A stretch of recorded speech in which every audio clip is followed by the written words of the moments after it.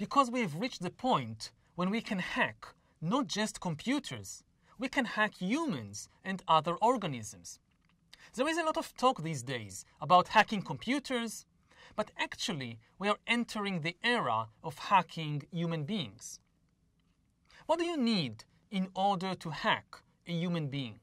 You need two things a lot of computing power and a lot of data, especially biometric data. Not data about where I go or what I buy, but data about what is happening inside my body and inside my brain.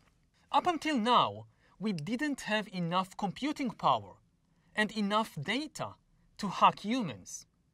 Even if the Spanish Inquisition or the Soviet KGB spied on me every minute of every day, they lacked the biological knowledge and the computing power necessary to hack the biochemical processes shaping my feelings and my choices. But soon we will have enough of both. Advances in computer science, especially the development of machine learning and artificial intelligence, are giving us the necessary computing power. At the same time, advances in biology and brain science are giving us the necessary understanding of what is happening inside the brain and body of humans. When you merge the revolution in infotech with the revolution in biotech, you get the ability to hack humans.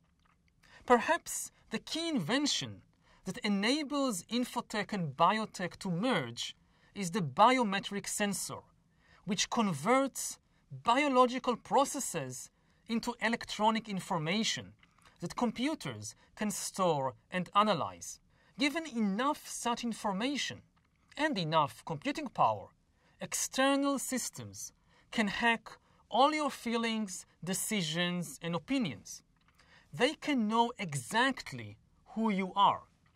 They can know you better than you know yourself. If we are not careful, we will soon be living under digital dictatorships.